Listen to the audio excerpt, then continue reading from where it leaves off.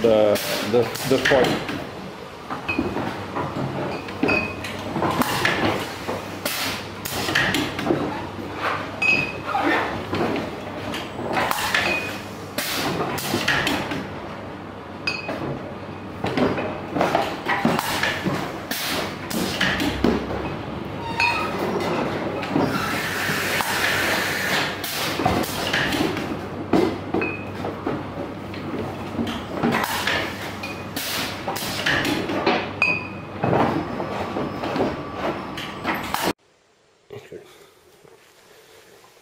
So 2012, it's what we are riddling and disgorging now for the end of the year for the Christmas market. And here we arrive to the Blanc de Blanc section. Uh, Blanc de Blanc, we go for a short lees aging to keep the fruit flavor, not to go too much for post uh, aging lees. This is Blanc de Blanc for the 70th anniversary of the company. We made a special bottle because this year it's a very big year for us. So it's a blend of 11, 12, 13, and 14, which we are uh, Uh, making a special packet for marketing at the end of the year. Oh, to celebrate. Yeah. And here you have the, the extraction chimney for taking out the chalk. So on the top we are in the street. And now it's the air ventilation for the, for the circulation of air in the cellar. So in the, in the cellar we have around five years of stocks, 250,000 bottles are present actually in the cellar. Okay. So we do rosé. Generally used to do a rosé vintage. This year we are launching a rosé non-vintage. On the other end you have the rosé vin- vintages. And this is the year 2014. So this will be on the market not before three to four years. The tradition of the house is the long lees aging. Okay. This is a special Blanc de Blanc for, uh, for the year 2019, for the 70th anniversary of our settling here. And backside is a new uh, blend with uh, bottle ferment, uh, barrel fermented Chardonnay. And this will be released in 2019 as a vintage for the celebration of the 90th anniversary of the press, which is still running. So it sounds like it's all celebrations. Yeah, we, we are in the good years. Yeah. We have to do marketing also. Well, this is the old magnums, which were previously on the, before 61, no crown cap. It was the cork and a stapler, a metal Yeah. stapler. And this is a 61 magnum. 61 Magnum. This is for family and best Family friends. and special guest uh, tasting. Okay. Not for sale. Not to sell, except if somebody wants to spend a big amount on. Of so course. we have 53, 59, 55, I think, and 61. Interesting. So here is the crossroad on the Yeah. top of the hill. So it Yeah. is just the stop signal is here. If you turn on the left, you go 200 meters, you go to the Champagne Avenue. Yeah. Another extraction chimney. And we have two sumps, one here, and another there, on the other end, to collect the water when it is uh, raining in winter. So here in the past we used to have the, the riddling alley where we used to have uh, 8,000 bottles, which we were uh, riddling uh, in every day. One hour, one guy was coming down in the cellar to riddle all the bottles. So now we riddle on the automatic riddling machine and uh, we keep the riddling alley to keep the library on, uh, on the pupitre. So it's all the old vintages which we are selling, but also which we are using to make the sugar solution at the time of disgorging. So the final touch in the winemaking is a sugar solution, and it is made always with the old, old vintages.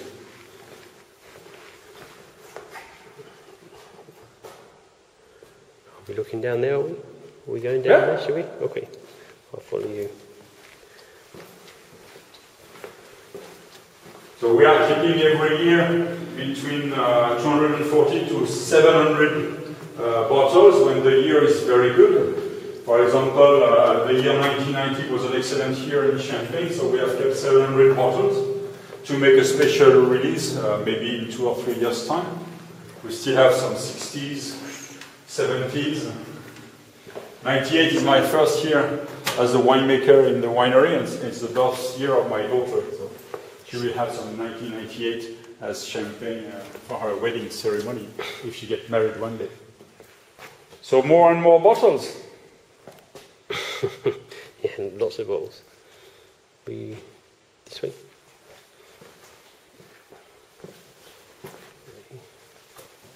So the, my grandfather was a violin player, so that is why the vintage is called Symphony, and the special bottle is called Harmony. And he designed a logo in 1953 with a treble clef, the glass of champagne of J. of Jacquinot. Yeah. And so the, we modernized everything in, in 2011 to have something more modern to catch the new, new market. That's your logo, isn't it? Yeah. Yeah.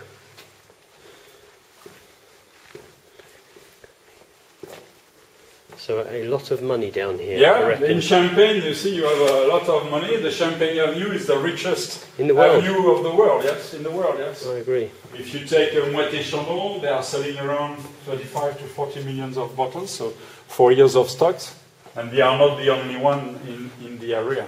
So here is the uh, most humid uh, place of the wine of the cellar. So you see, can see some condensation uh, on the bottles. It's because we don't have any uh, uh, extraction well on the top, and so there is a big garden. So it's a it's very humid here, and we used to have an old oak tree on the on the top, but it collapsed during the hurricane of 1999. So it's not taking any more the moisture from the soil. So you can't imagine that uh, when you are upstairs, that downstairs there is so many bottles. And here it's very quiet. There is we have only one layer, and even you don't listen to the road where you have the trucks which are coming. No. Here we have the four holders bottle from the estate, four bottles of 1949.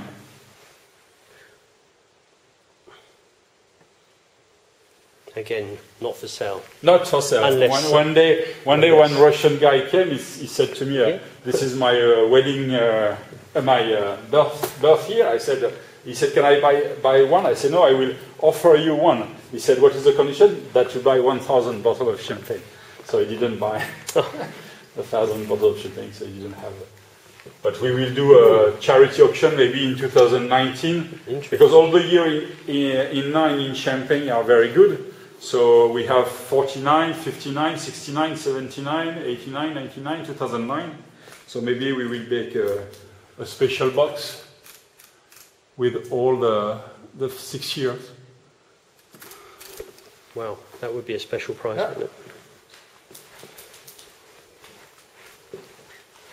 That's very good. Very interesting. Very interesting. And uh, the history of the cellar is that in 1917 there was a battalion of soldiers who came here in February to stay during winter because it was cold on the battlefield, which were very nearby. And the battalion was French troops, but from Africa, North Africa and Africa, and they were called the, the Zouaves because they, they were having a special uh, hat, which is called a, a fez, and so they, they carved in the wall the, the logo of their battalions. That's brilliant.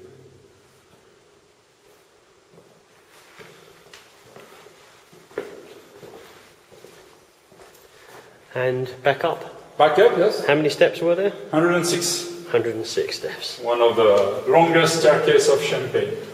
The longest is Pommery, 116, but with smaller steps. And Pommery is, uh, is 103. So you have a lot of humidity in the cellar. So as soon as you climb, you have the condensation of the water into your lungs. It's more difficult to climb the steps from the cellar than the Eiffel Tower. Yeah.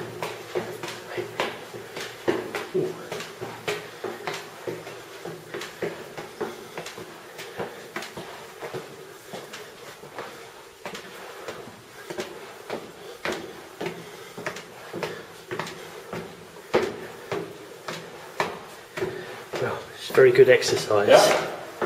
Very good.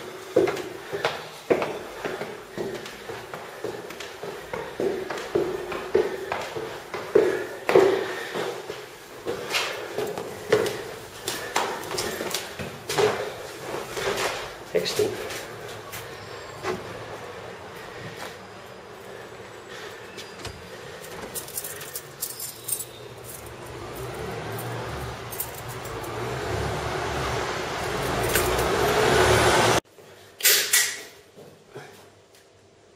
So this Yeah, private cuvée. Private Cuvée.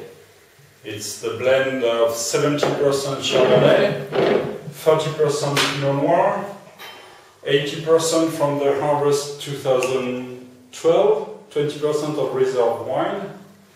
And this is uh, without chaptalization, without uh, uh, malolactic fermentation.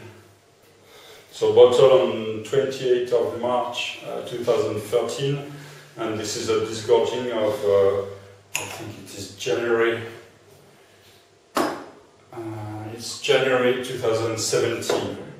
So nearly 40, it's 45 months of aging.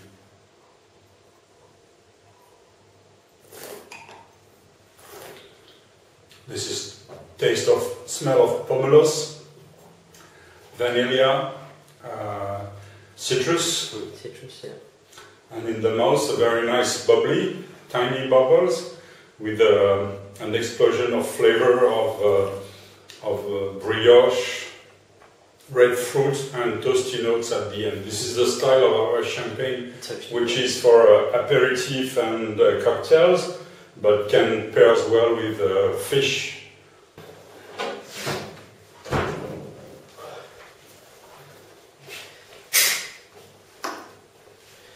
So what have we got here? What's this one Blanc de Blanc. So we used to have only four major products in the winery uh, before uh, I became the chairman of the company. We used to have private cuvée because in the past you have to give a, an English name to your champagne because it was drunk mainly by British and Americans in Paris. And so everybody was having an English name. So even Krug was having private cuvée.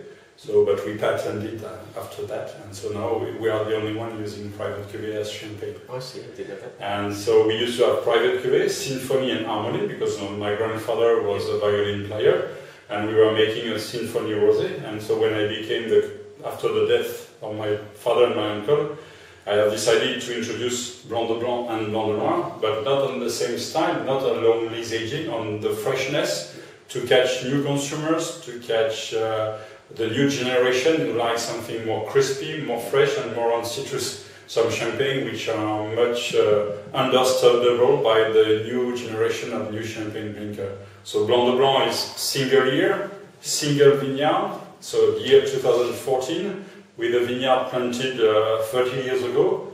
So we do a vineyard selection, and here no chaptalization, no uh, malolactic fermentation and no filtration, just to preserve the fruit flavor. And we do that since 2010, and which has been a very big success. So here we are more on the citrus character, and with the minerality which is which is coming. Yeah. Even it has a little bit of Sauvignon character. Iodine is coming also. It's like uh, the the peat from the whiskey from the from the UK. You have a lot of iodine coming on the on the nose, and then in the mouth you have the citrus character with a lot of uh, minerality, which is making your mouth uh, watery and asking for a, a second glass. So this is pairing well with the oysters, seafood, sushi, sashimi, uh, all kind of uh, Japanese uh, and scallops, uh, carpaccio from scallops. This is excellent because of the uh, minerality and with the uh, citrus character. And you said how many hectares did you say in total? Uh, 17 hectares. but 17 we keep, hectares. keep 7 hectares for, for us. So seven, and then the other ten go just down the road. Yeah. And we keep for us only Chardonnay and Pinot Noir, no Pinot Meunier. Okay. Why? Because Chardonnay and Pinot Noir can age a long time in the cellar because of the uh, fine fine quality of the of the grape varietal. And I don't like too much Pinot Meunier when it is aging because you get more on the dry apricot, fruit and spirit figures, which is not present in a champagne. Pinot Meunier is very good in a young champagne because it's bringing you some um, fleshy fruits char- characters like peach and pears, which is very nice in a young champagne. The brioche is always coming from, from the Pinot Noir. Vanilla character is coming from the Chardonnay. Here you have no barrels, and you will see that as soon as we will get in the in the vintage, that the the vanilla character will be coming Express. because of the vanilla of the Chardonnay with the long lees aging in the cellar.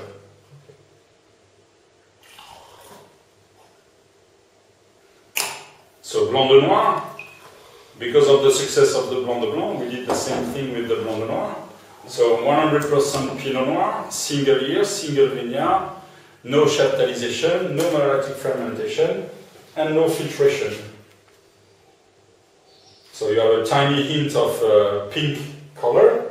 On the juice, we don't do any treatment. So this is the, we still use the press of my grandfather from 1929. Okay. And so we, we, this is the quality of the juice which is coming out of the press. We pay the pickers by the, by the hours, not by the kilograms, to be sure that we have the best quality. We ask them to sort the bunches. So they remove the green berries, they remove the uh, rotten berries to get the best fruit in the press and so to have the best champagne. So here you, are on, you have a cherry nose, a little bit of minerality, cherry nose, strawberry. Even a little bit of uh, framboise, uh, uh, raspberries. You cannot make a good apple pie without good apples. It's the same. Yeah. Winemaking and cooking is the same thing. And we, uh, as a winemaking uh, product, we use only yeast and um, SO2 for winemaking, and then after we use only riddling helper, rid- uh, fining agent to do the riddling. That's all. For me, it's the fruity character with a little bit of elderly uh, flower, a little bit of greenish character, which is making a nice acidity. So this is very good as an aperitif champagne, along with ham, Parma ham, with some cheese. It's, it's good with a plancha or even some with some Spanish chorizo. You have vinosity, and it's the same year as the Blanc de Blanc. But you see that we, we also made those two champagne to be able to educate the new consumer to, to tell them what is a Blanc de Blanc, what is a what is a Chardonnay, what is a Pinot Noir, and uh, after, if you blend this and that, and you wait for two years, you arrive to that. Interesting. And also with the young generation uh, who is accustomed to buy champagne in the supermarket, they are buying now uh, more uh, young champagne with a high acidity, which was not the style of our champagne. So we developed uh, those two new products to make the champagne more uh, exciting to the young generation. And for the for the private cuvée, we do it as half bottle, bottle, Magnum, uh, Jeroboams, and we do it as brut nature, extra brut, and demi sec. So it's the last harvest of my father. Really? Yeah, he died uh, a week later after the end of the harvest. He just uh, grabbed the desk to be able to do the, the last harvest. That was great. And uh, so it's very nice to release it in, in uh, 2017 for the 70th anniversary of the company. So here it's different. Uh, it's a vintage, it's 60% uh, Chardonnay, 40% Pinot Noir. It's the oldest uh, plots from the estate. Different. So here you have the autolysis character which, which is coming. And this is uh, typical uh, from the long lees aging in the cellar. So this has been bottled in January 2000, uh, in March 2009 and riddled in this gorge in December 2016. So that is the seven years of lees aging and uh, always we try to do the tasting here in the tasting room uh, with some champagne with more than three to five months of post-disgorging time. So here you have the caramel notes which is coming. But, so here, uh, 2008 was a very, it was a late uh, harvest, end of September. So we, we did the malolactic fermentation. Nowadays we decide to make or not to make according to the taste of the grapes, the taste of the juice, the taste of the wine. And also to reduce our carbon footprint, we now we intend not to do any more the malolactic fermentation. It's stupid to chill the juice, chill the wine, and then to heat to make the malolactic fermentation. Because the target also is to be certified high quality environmental this year. So here you have mushrooms, you have vanilla, you have oak, you have caramel. It's a champagne for food or for special aperitif. It's a champagne to go along with foie gras, along gougère. Uh, it's a champagne which is uh, which will be pairing well with some uh, chicken breast in mushroom and cream sauce, or to go with a uh, fish fillet with butter and cream sauce, something like that but still you have a good freshness and a nice minerality. Dosage, um, we are at uh, 9.6, 9.8, 9.6, and here we are 9.4 grams of sugar. And sugar solution is our own sugar solution. It's cane sugar uh, mixed into all champagne.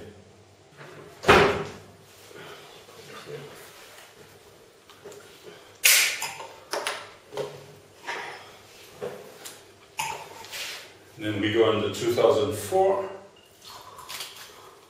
I had a problem yesterday is that I, can, I was not able to remove the, the top, so I have to sever it. So I transfer it to one, one bottle. So here it's yeah, it's here it's 80% Chardonnay and 20% uh, Pinot Noir. So here it's completely different. We make this blend only on very good year. So uh, to be able to mature the long time in the cellar, and here we are uh, on the year 2004, which was a gorgeous year, with a very high acidity. So here you have mint, you have uh, Abadian licorice. Yeah, I was going to say licorice, I can... And you have uh, chocolate and coffee. It's a champagne for special aperitif, it's a champagne for it winter, it's a winter champagne to be seated in, in front of the fireplace. And still it can age a very, very long time. It's a champagne for connoisseurs. And even this champagne is much better once it has been uh, open for a while because you have a small oxidation. This uh, we bottled in 2005 uh, riddled in 2015, so more, no more than 10 years. And then after we stored the bottle, bottle on point to stop the evolution of the, of the flavor. Less bubbles because I have to transfer it to decant it uh, from the broken bottles. But otherwise the bubbles level is exactly the same. You know, in, in Champagne we are at uh, around 4,750 wineries. We are each making between five to seven different champagnes, say six. So around 24, 25,000 different champagnes are available in Champagne. Uh, all, all producer together, so from uh, yeah. somebody who is, because in Champagne you have all the things. You can bring your juice to cooperative, take back the juice, take back the wine, take away the, the bottle. Everybody has got a special uh, way of working. Okay. So it's 4,750 champagne label, approximately. Label, uh, house, house. Houses. So each and every champagne house is making six different champagnes. So you have a big but 80%, what I'm sure is that 80% of the land belongs to the small grape growers, 20% to the yes. champagne houses, but 20, 20% of the business yeah. is done by the small champagne houses and 80% by the big champagne houses. Yeah. So when everybody uh, says that uh, a champagne from a negociant is not good, that you have to be very careful, this is a big mistake. It is not the champagne from the negociant which is not good, it's the grape which is made by the grape grower, which are not good. Yeah, yeah, yeah, true. Yeah. this is always the big uh, deal uh, between négociant and, and récoltant. Mm, I can understand, yeah. A négociant, as us, is we are a, a grape grower négociant. It's our own grapes which are in our bottle. It's because it is the status of the company which my grandfather has chosen. In 47, he was not sure that the champagne business would be successful, so he separated his champagne business from the grape business. And so to be able to, the, the, the father and the two sons were having the land, and they, he was, they were selling the land to the Champagne Jacquinot. So you have to be a negociant to be able to buy the, the, the grapes. Then after you have the grape grower who is growing grapes, uh, giving the grapes to the big champagne houses. He can give to a cooperative and you can give to other, other people. Even a small, a small grape grower is allowed to buy 5% of his production to another grape grower. So rosé, we are a little bit deep in the bottle because I like to have the perfect color into the glass. That is? No, it's a blended rosé, but it's 50% Chardonnay, 50% Pinot Noir. And in the 50% of Pinot Noir, 30% is uh, uh, white Pinot Noir and 20% uh, is uh, red wine made out of uh, uh, Burgundy style, style red. So no crushing, no destemming. We make only on a vintage year to get the perfect maturity of the Pinot Noir, which we keep for maturing a little bit longer in the vineyard. And uh, the target is to uh, not to, to have a nice color, nice fruit, but no bitterness. So in the glass you have a nice. Sometimes the blanc de noir in some champagne houses it will be called uh, rosé. So it's the year 2011. So it's a harvest of August. Strawberry. Strawberry, cherry, red currant uh, marmalade. This is good as an aperitif or uh, with a fruit salad or chocolate cake. Some people will take it along with some uh, lamb chops. You can afford meat, uh, even powerful meat, a little bit with uh, uh, sweet sauce. You can have a, uh, uh, lamb chops with honey. But for me, champagne is definitely as an aperitif. Uh, you have same nice bubbling character, nice acidity. So here, 2011 characteristic is that very high sugar level, no malolactic ferment, so no chaptalization, no malolactic fermentation, and no filtration. And the red, red wine is matured six months in, in barrel. What makes Jacquinot special? What is the well? What- First is what is it? Yeah. First is the blend only of Chardonnay and Pinot Noir. Either as Blanc de Blanc is 100% Chardonnay, 100% Chardonnay. Pinot Noir is 100% Pinot Noir, no Pinot Meunier. And in the Harmonie, in the private cuvée, in the Symphony, no Pinot Meunier at all. I will introduce maybe in 2017, if the quality is good, uh, a Blanc de Noir from Pinot Meunier only. And we are a boutique winery, so we go for long lees aging to be able to reach the best and the highest quality as possible.